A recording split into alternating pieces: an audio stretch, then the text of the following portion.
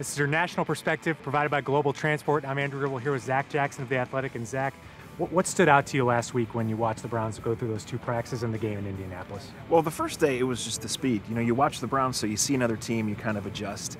Uh, I thought the Colts were an impressive team. I mean, they won 10 games last year. The second day, I saw a different focus from the Browns.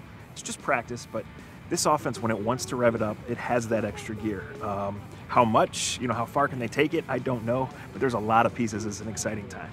And, and, when you look ahead to these final two weeks, what, what are the position battles that you really think are still going on and when it comes down to making that 53 man roster decision? Well, wide receiver, minimum of seven guys who have a legitimate chance. Keep six probably. Tight end's going to be interesting to see how it shakes out there. And on the secondary, I mean, there's 13 or 14 guys I think could make it and probably 11 do. So uh, still a lot can happen in these next two weeks, but this is a really good roster and you're going to be a really good player if you make it. And then going into this training camp, uh, you obviously had some preconceived ideas. What has maybe surprised surprised you about what you've seen these last few weeks? Well, DJ Montgomery's come out of nowhere. I don't know exactly what his injury status is, but he can really run, and he might make the team.